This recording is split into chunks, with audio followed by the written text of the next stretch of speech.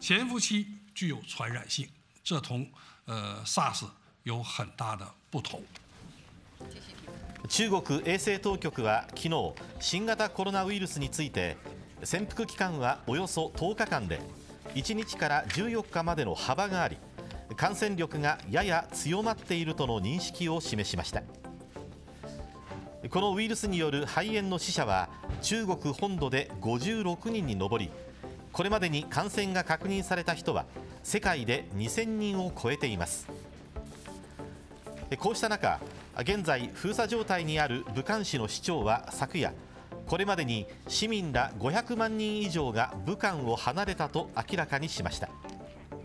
また現在検査結果を待っている患者の中から今後1000人前後の感染が確認される可能性があるとしています。